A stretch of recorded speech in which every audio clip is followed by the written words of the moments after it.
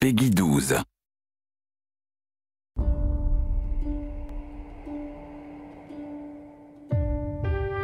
L'histoire n'est jamais complète dans les livres, jeune homme. L'histoire est dans notre sang. Accrochez-vous bien, Tintin